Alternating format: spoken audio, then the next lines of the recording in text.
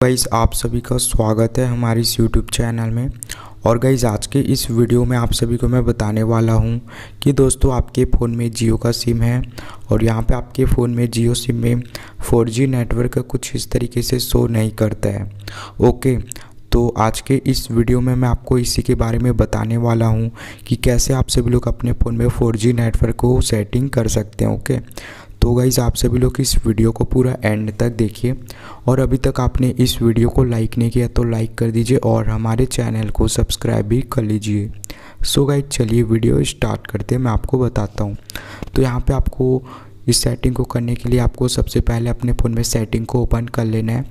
तो सेटिंग को ओपन करने के बाद दोस्तों, यहाँ पे आपको एक ऑप्शन आएगा SIM card and mobile network करके। तो यहाँ पे आपको क्लिक करना है। यहाँ पे क्लिक करने के बाद दोस्तों, सबसे पहले आपको अपना सिम सेलेक्ट कर लेना है। सिम सेलेक्ट करने के बाद यहाँ पे आपको ये वाला ऑप्शन आएगा एक्सेस पॉइंट नेम करके। तो सबसे पहले आपको यहाँ पे क्लिक करना है।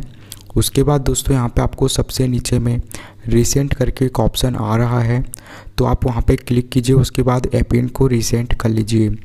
उसके बाद दोस्तों यहाँ पे आपको मोबाइल नेटवर्क वाले ऑप्शन पे क्लिक करना है और क्लिक करने के बाद दोस्तों यहाँ पे आपको अपने फ़ोन में इस तरीके से इसको इनेबल कर लेना है। ऑटोमेटिकली सेलेक्टेड नेटवर्क को इस तरीके से इनेबल कर दीजिए।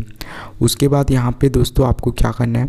आप अगर इसको ऑन करना चाहते हैं use V O L T को तो इसको भी आप जो है ऑन कर सकते हैं और यहाँ पर आपको बैक आना है। बैक आने के बाद दोस्तों यहाँ पर आपको कुछ भी नहीं करना है, बस आपको अपने फ़ोन को एक बार बंद कर देना है और फिर से उसको ऑन करना है। ओके तो इतना करने के बाद दोस्तों आपकी प्रॉब्लम हंड्रेड परसेंट सॉल्व हो जाएगी। तो अगर ये वीडियो आपको अच्छा लगा हो तो लाइक कर दीजिए। और गाइज़ अभी तक आपने हमारे चैनल को सब्सक्राइब नहीं किया है तो हमारे चैनल को सब्सक्राइब भी कर लीजिए।